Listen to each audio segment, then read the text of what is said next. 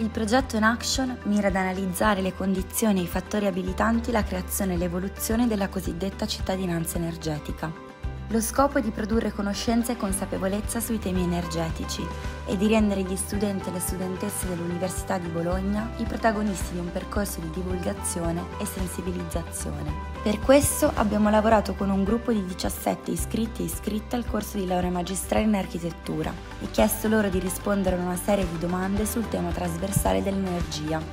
Questi video resi pubblici sono il lascito del progetto In Action da e con gli studenti per la città e il territorio.